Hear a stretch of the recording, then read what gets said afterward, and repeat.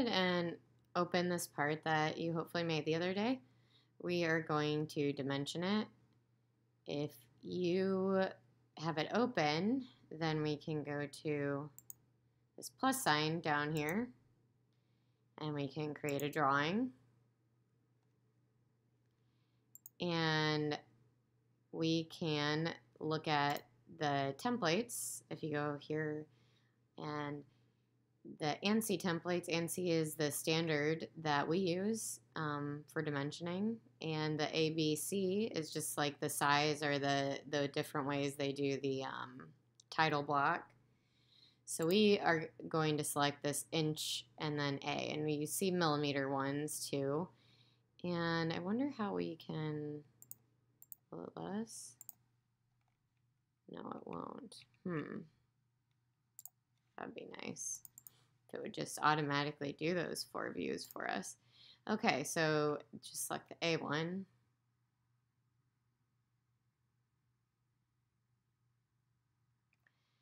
All right, and so you have, you see if you zoom in here,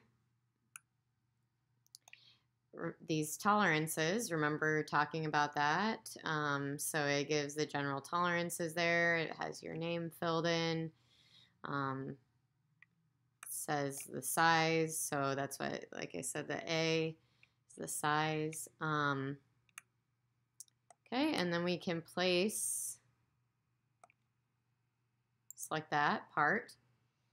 And we can do our, our views. So we want to do the front view, top view, and and then we can go over here to projected view. Up here at the top. And you can click this. We want to project that view. Oh. Or not. Maybe we need to go to insert view. Okay.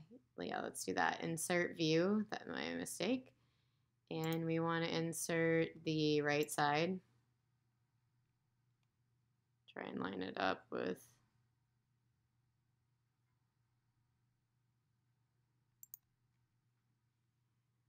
we want to insert whoops isometric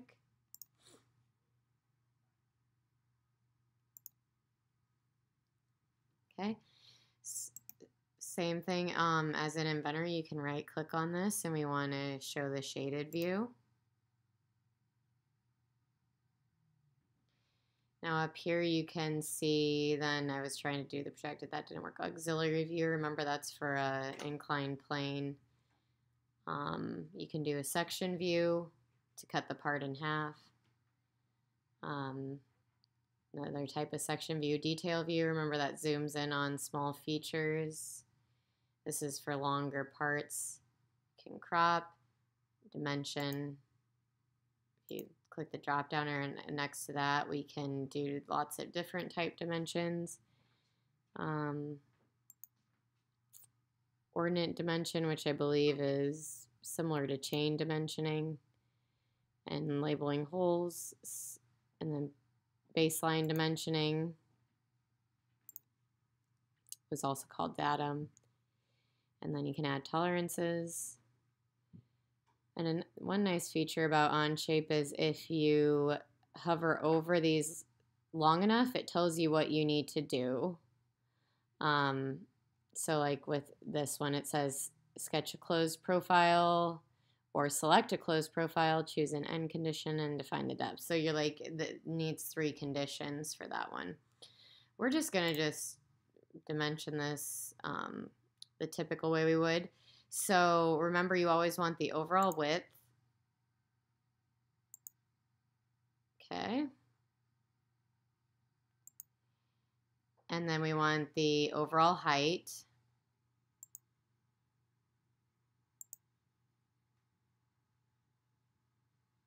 I usually drag those farthest away because then you'll put the other dimensions um, inside of these.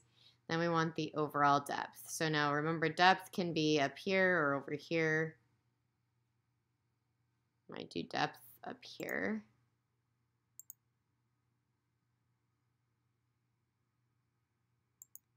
Okay. And so then once you have those overall dimensions, you just need to add other dimensions. Now for the width, really the only other thing I need to know is this piece here.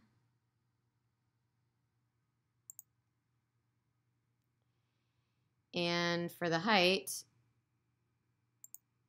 I need this one.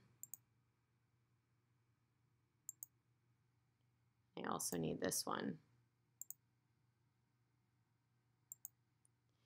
Now I like to, um, I'm going to hit escape really quick and just fix these here. So remember you need to um, hit escape to get out of the command and then you can, we can drag these a little bit further away. I just want the 0.5. Okay. Um, so I'm kind of doing baseline dimensioning. That's always kind of been my preferred method. And if you remember when I talked about uh, dimensioning, like if we're talking about tolerances, this um, baseline leaves the um, gives the least amount of uh, room for like error or variation in your parts. So that's kind of why the baseline is nicer. All right, um, so then I'm going to go back up here and select dimension again. And then I'm going to do the depth. So now for the depth, I, I need this one.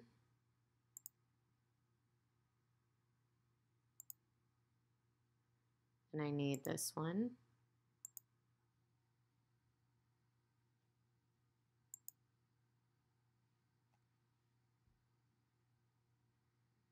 Think that's all I need because this 0.5 would correspond to the 0.5 here.